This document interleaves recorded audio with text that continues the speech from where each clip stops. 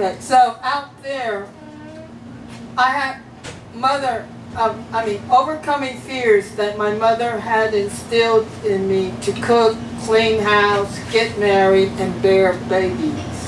Whereas I wanted to be an independent artist.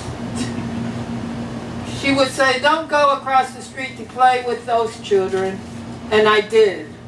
I went around the corner to play with the brothers. The oldest one made a banjo with a tin can and bows and arrows where we would play cowboys and Indians among the bushes in the backyards.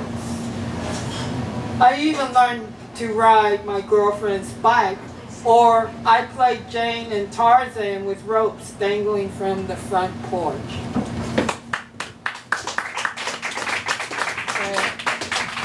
New York City, Lower East Side. Recently, Bern Nix had passed away on May 29, 2017 in a small SRO apartment in Chelsea.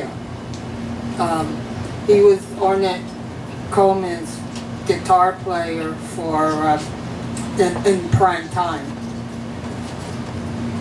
This a Gathering of the Tribes event was videoed on April 1st, 2015 at the newly renovated Educational Alliance in Lower East Side. A Gathering of the Tribes had a had been a watering hole for Lower East Side's poets, artists, and musicians, where Bern Nix Trio performs Miles Kinda Blue for the evening's introduction of Tribe's young poets.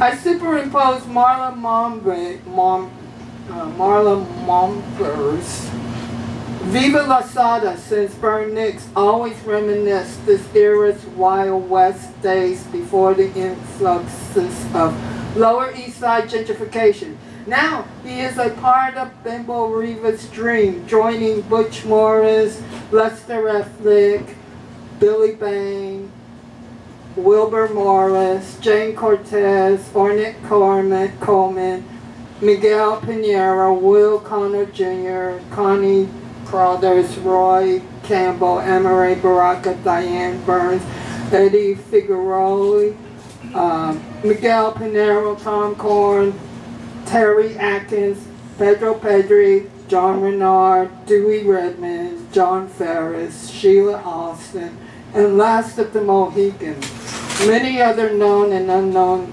POC artists. There is a better place these heroic artists go than just culminating among whitewashed Lower East Side. Once upon a time, they presided at a gathering of the tribe on earth, but now they found a private gathering that the living cannot enter until a passage of life that Eddie Figueroa had dreamt on earth. Uh, with small tribute, I hope his memory isn't forgotten. On Papa